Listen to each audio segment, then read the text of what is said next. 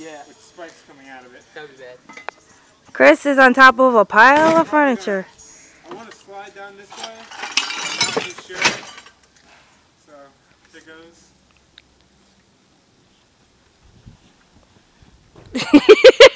That was Pimp Crush. Yeah, it was. Uh, that And I got it all on camera. YouTube, baby,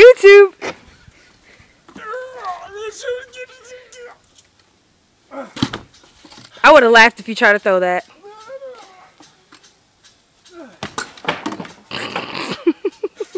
you did.